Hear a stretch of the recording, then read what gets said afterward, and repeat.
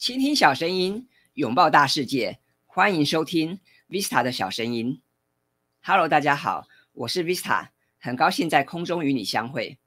近年来，时常有一些公部门、企业或大学院校邀请我去教授有关内容行销的课程。那么，什么是内容行销呢？我们今天就来聊聊内容行销吧。根据美国内容行销协会的调查显示，在美国已经有高达百分之八十八的行销人员开始采用内容行销。那么，内容行销跟传统的行销有何不同呢？美国内容行销协会指出，内容行销是一种高度战略性的行销方法，专注于创建和分发有价值、可透过传达相关且一致性的内容，来吸引和留住明确定义的目标受众，最终以推动有利可图的客户行为作为最高的指导原则。换句话说，内容行销是一门与客户沟通但不主动销售的艺术。我们也可以说，当内容邂逅了行销，也就产生了双向的对话。其实，早从一九九六年开始，就有人使用内容名行销这个名词了。到了一九九八年，更有类似内容行销总监的职缺出现。这也告诉我们，内容行销的概念其实行之有年，并非最近才发展出来的。像是一九零零年于法国首度出版的《米其林指南》，就令人感到惊艳。他们多年来所推行的美食评鉴员公正的食宿评价和星级评鉴的制度，让这本美食旅游圣经备受世人的肯定，也被许多的行销专家视为是现代内容行销的滥觞。那么，日本作家中向纯在他所撰写的《内容的力量》这本书里面，把内容行销定义为一种对内容产生共鸣的行销。他认为，所谓的内容行销，就是吸引目标客群前来网站，使他们想要进一步索取相关的资料、购买产品或服务的行销手法。简单来说，内容行销是一种贩卖体验感受的行销手法，而有别于传统行销的主动方式，内容行销通常相对来的比较低调、沉稳而细腻，而且更加重视用户的真实感受。如今已经有越来越多的企业组织开始投入内容行销的行列，好比全球最大的能能量饮料品牌红牛，他们就很了解内容行销的魅力。那么，如果你打开红牛的官网，你可能会觉得这是一个以音乐或运动赛事为主轴的网站，并不是可以很容易在这个网站上面看到宣传能量饮料的字眼。不过，这个来自奥地利的这家。能量饮料的创办人哈就说：“我们并不想把产品推销给消费者，而是要设法将消费者带到我们的产品面前。”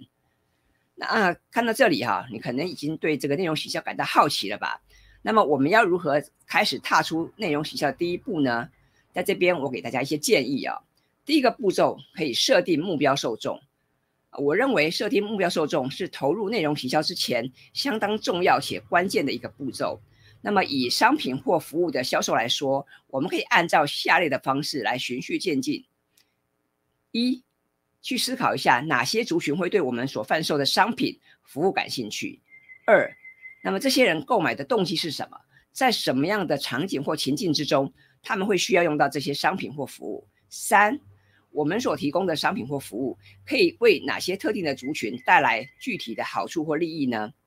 那么。举例来说，如果贵公司最近想要推出一款新型的这个意式咖啡机，那么你不妨先想一想，哪些族群会特别需要这个商品呢？或者是什么样的族群会对咖啡机感兴趣呢？是那些金字塔顶端拥有品味的贵妇企业主，还是一般公司行号里面的中高阶主管，或是一般呃对于这个需要咖啡因慰藉的忙碌上班族呢？那么这些人的需求、思维跟行为模式。是否会受到年纪、性别、居住区域或消费意愿的影响而产生不同的变化呢？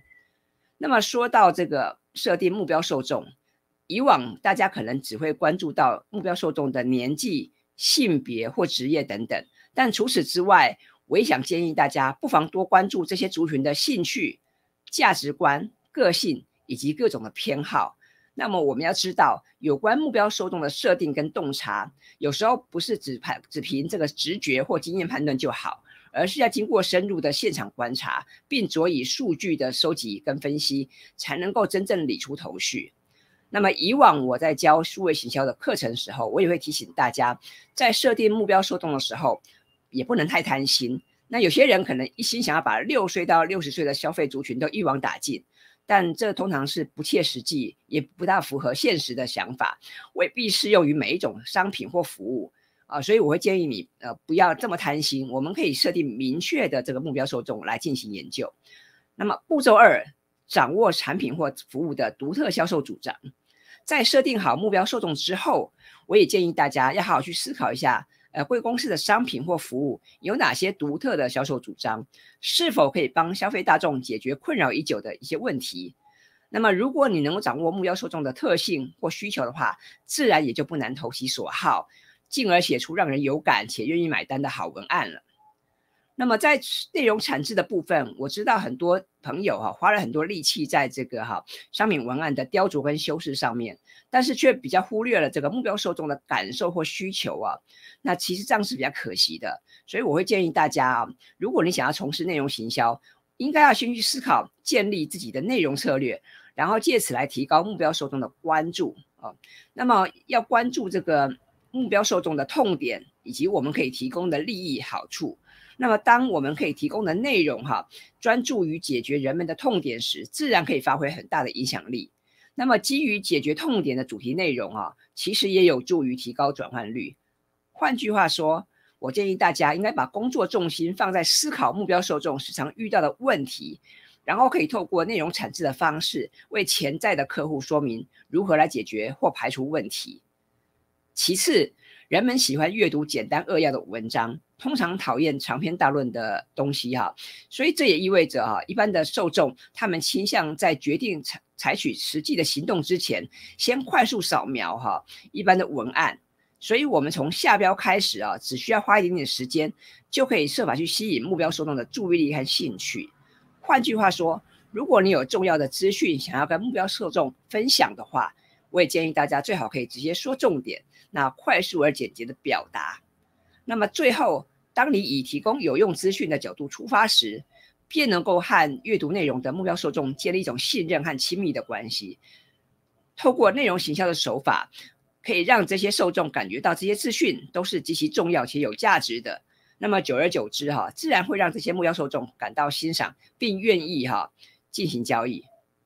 那么，如果你对于内容行销有兴趣的话，我会建议啊，从设定目标受众开始，然后再投入内容产制的行列，最后呢，写出引人入胜的好文案。那么，至于实践的步骤，可以参考我刚刚提到的这几个方法哦，然后进而提高潜在客户他们的参与度跟信赖感。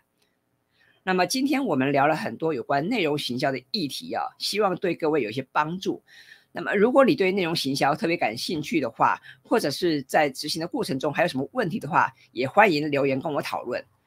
好了，那我们今天的节目就在这边进入尾声了。如果你喜欢 Visa 的小声音，欢迎订阅我的 YouTube 频道，或是在 Apple Podcast 帮我打五颗星，并分享这个节目给有兴趣的朋友们。你的支持是让我继续制作这个节目的原动力。谢谢你，我们下次见喽，拜拜。